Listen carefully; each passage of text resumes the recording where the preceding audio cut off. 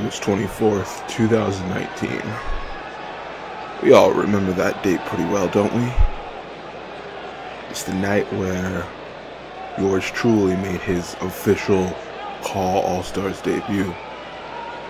It was an elimination eight man tag match, taking on the Heartless alongside Alex James, Walter Scott, and V-Pac, of all people. Now, when I first accepted the challenge, it was simply a favor for Walter Scott himself. It was nothing more, nothing less. Then Steel became the main attraction. Somewhere along the line, the big Steel became the talk of the town, now didn't he? That brought a lot of eyes towards Zaiah Steel's way. Because at the end of the day, there were two people standing in the middle of the ring when it all was said and done. Two people left. And that was me and you, Kenyon Fenix. It was the night where Zaiah Steel's name is still made in infamy. Where the entire CAW All Star fan base was chanting for more Zaiah Steel. And I'll admit, it felt pretty damn good. But you, you, you, you saw something more, Kenyon, and I'll give you that. I'll give you your due on that alone.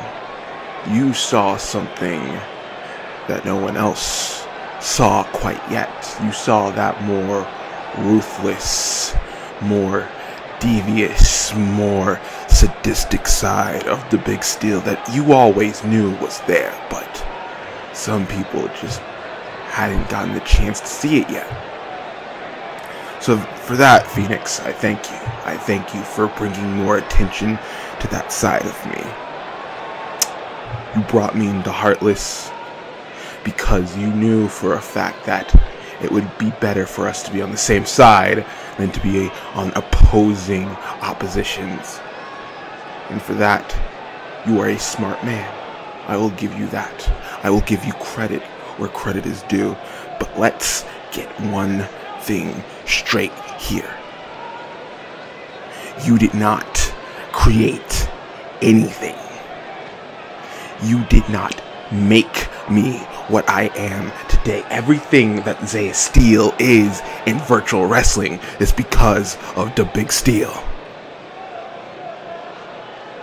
And Kenyon, I know in that egotistical mind of yours that you like to think that Heartless was a failure because of the people you surrounded yourself with. No, no, no, no, no, no, no, no, no, no, no, no, Kenyon.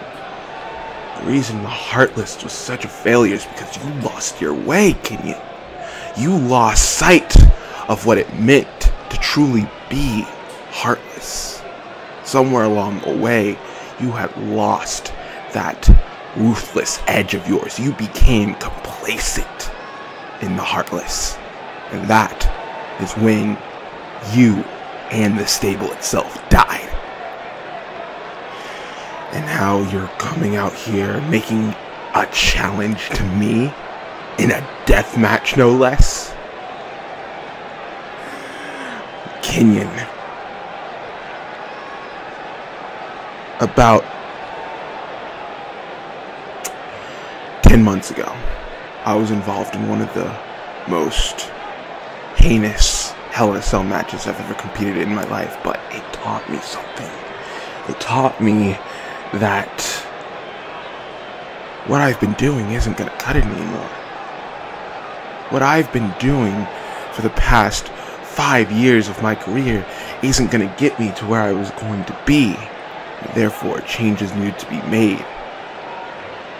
That is why I am the current CMC world champion. That is why I am still going around winning titles wherever I go. This is why Zaiah Steel continues to be the biggest marquee name out there because I am at a point in my career where I do not give a damn.